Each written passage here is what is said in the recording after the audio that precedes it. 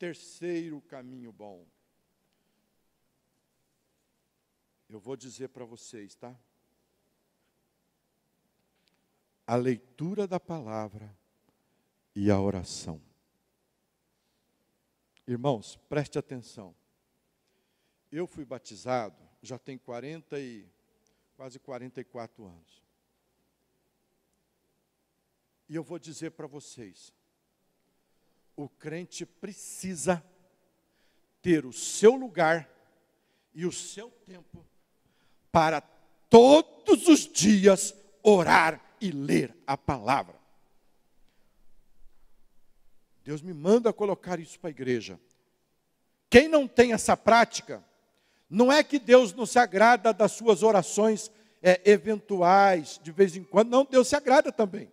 Mas eu estou falando é de devocional, é de você, sabe, atribuir a Deus a importância dele para a sua vida, demonstrando na prática e orar, orar, se colocar de joelhos, sabe, na presença do Pai, ler um capítulo da palavra, ou dois, ou meio, cada um tem o seu, a sua, a sua capacidade, né?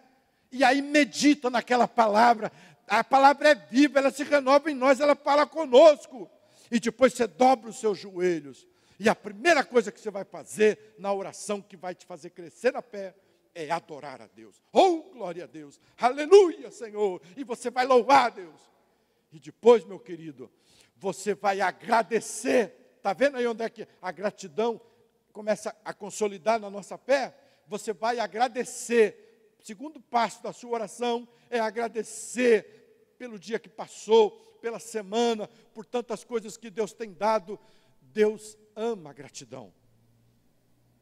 Meus irmãos, depois de agradecer, você vai pedir o perdão pelos seus pecados e ofensas. E vai dizer que perdoa, mas do coração, perdoa assim como você também perdoa aqueles que te têm ofendido.